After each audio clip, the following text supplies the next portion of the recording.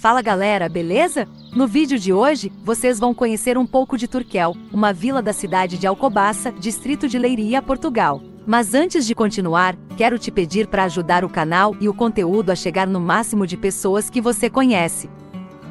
Curte esse vídeo, se inscreve no canal e no final do vídeo faz um comentário sobre o que achou. Beleza? Então simbora! É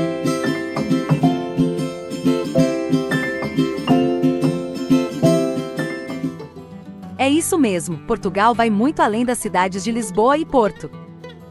Antes de falar sobre Turquel, uma típica vila de Portugal, você precisa entender como as regiões são denominadas em Portugal. Quero explicar rapidamente, de uma forma simples, a diferença entre aldeias, vilas e cidades. Começando pelas aldeias. Diferente do Brasil, que chama de aldeia ao local onde vivem os povos originários indígenas, aldeia em Portugal é uma região pequena, geralmente no campo, com poucas pessoas vivendo lá. É menor do que uma vila e as pessoas normalmente trabalham na economia da povoação vizinha ou no próprio campo. As aldeias podem ter seu próprio governo e geralmente vivem da agricultura.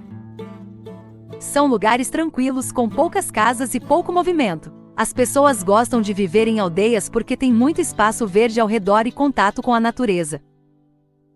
Já as vilas são lugares que possuem uma estrutura que fica no meio termo entre aldeia e cidade. Tem uma economia quase autossuficiente, o que significa que pode produzir a maioria das coisas que precisa. É uma povoação maior do que uma aldeia e menor que uma cidade, tem geralmente entre mil e dez mil habitantes, mas algumas têm mais ou menos habitantes.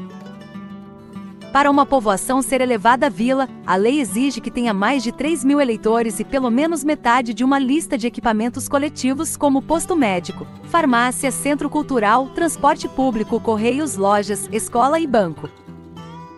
Algumas vilas são a sede do governo local ou um importante centro econômico, social e cultural. Em Portugal, existem 582 vilas, incluindo Turquel, que iremos falar daqui a pouco, que são lugares que foram elevados a esse status pelo Decreto-Lei nº 11 de 82, de 2 de junho, e foram sede de um conselho próprio ou receberam um foral real. Mesmo que algumas dessas vilas tenham poucos habitantes ou recursos limitados, elas ainda têm o status de vila. Uma cidade é uma área urbana com muita gente mais do que uma vila. Em Portugal, para uma localidade ser considerada cidade, precisa ter mais de 8 mil eleitores e vários serviços como hospital, farmácia, bombeiros, escolas básicas e secundárias, transportes públicos, parques, jardins, entre outros. Desde 2013, existem 159 cidades em Portugal, incluindo Lisboa, Porto, Braga, Coimbra, Aveiro e Nazaré. Além disso, outra denominação importante que você deve conhecer e fazer uma comparação com o Brasil para entender é o distrito. É como se fosse um estado. Exemplo: existe o estado do Rio de Janeiro, cuja capital é a cidade do Rio de Janeiro. Porém, o estado do Rio de Janeiro é formado por outras cidades como Niterói, Petrópolis e Nova Iguaçu. Agora que você já está por dentro das denominações, vamos conhecer um pouco da típica vila de Turquel, localizada na cidade de Alcobaça, no distrito de Leiria. Essas imagens foram feitas recentemente, em abril de 2023. Dá para ver que é uma região muito tranquila, sem trânsito, com muito verde e estrutura. Essa é uma rua próxima ao centro de Turquel. Esse é o Parque de Diversão e Desporto de Turquel, inaugurado em 2014 com tudo o que é necessário e muito bem conservado. Aqui bem próximo, já se tem acesso a mercados grandes e pequenos, escolas e hospital.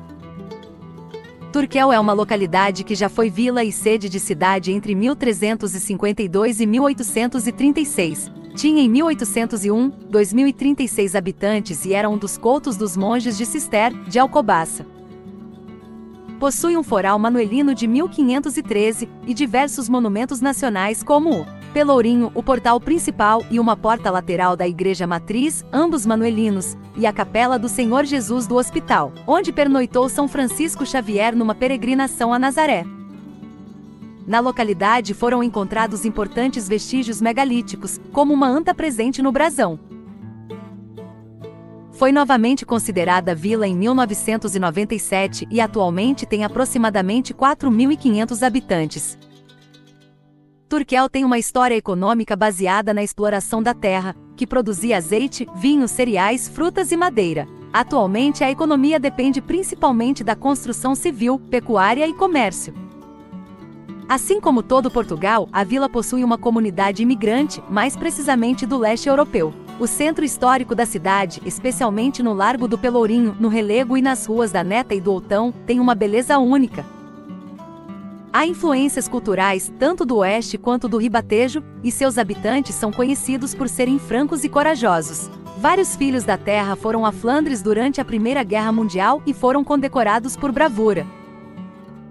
No entanto, muitos são individualistas, o que é expresso no ditado local em turquel, cada qual ao seu farnel. Algumas personalidades em Portugal têm relação direta com a vila.